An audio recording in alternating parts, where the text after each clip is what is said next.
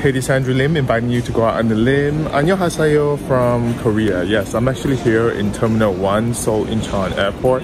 Uh, took a really early flight, UA 805. Is it 805? Yeah, 805. From San Francisco to Seoul, uh, departed late, uh, but it was a great flight. Uh, awesome in-flight service by the purser. Uh, so finally got here, but uh, the thing is, it's only 5 a.m. right now. Yeah, the airport does look pretty busy at 5 a.m but uh, it's a 5 a.m. on a Thursday. Is it Thursday? Gosh, I've, I've, I've, lost track of time. It's actually Friday morning.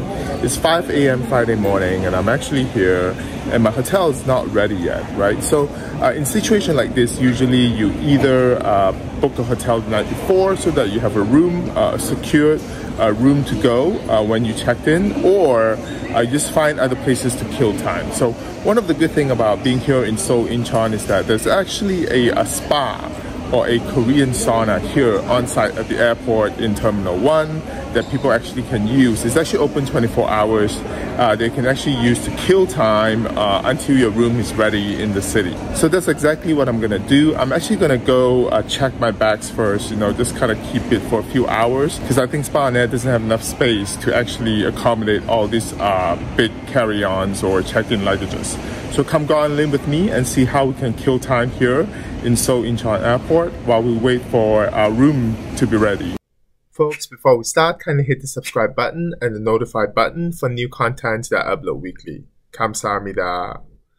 So, Spa on Air is actually located in the basement level of Terminal 1. Uh, it's easy to find. There's also a capsule hotel in Terminal 1. If you like to be confined in a tight space for a few hours, uh, you can do that.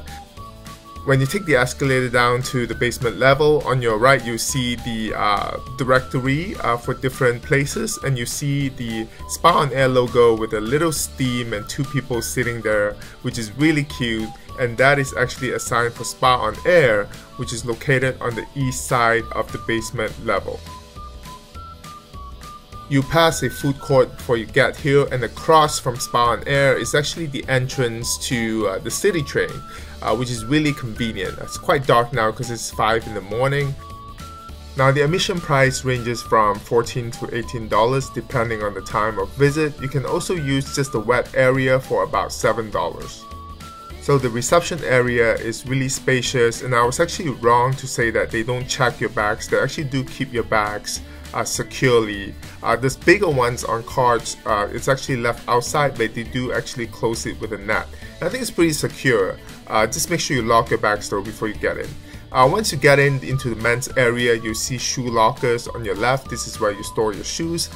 And inside the changing room. Uh, worry not, there is no nudity here. I had to make sure of that before I filmed this.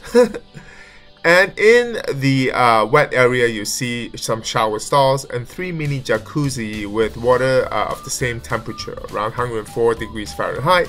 There's actually no dry sauna or steam room in the wet area. After you're done with the wet area, you use a card to enter the co-ed area. The card is actually used because there's separate entrance or admission fee. And here you actually see a lot of people relaxing, sleeping, especially, you know, if it's really early or really late. You also see two saunas, one with around 95 degrees Fahrenheit. And this is actually where you can actually lay down and sleep as well in heat if you like. The second sauna is a normal uh, sitting sauna uh, that's actually hotter and this is actually where you can get a proper uh, uh, heat treatment before your flight. There's also a common sleeping area. This is co-ed.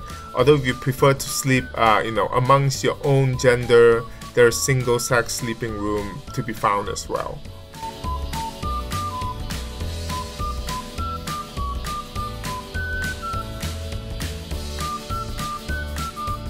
Hey guys, so this uh, spa on air was definitely great. I was here for a couple of hours. Now my hotel room in the city is ready, so I'm actually gonna just go and check in. Actually, you don't need to find another place to store your luggage because they actually store your luggage here. And of course, if you have bigger luggage on like luggage carts, it's stored outside.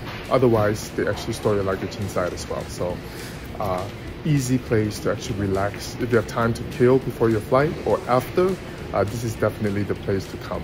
By the way, they didn't pay me to endorse this.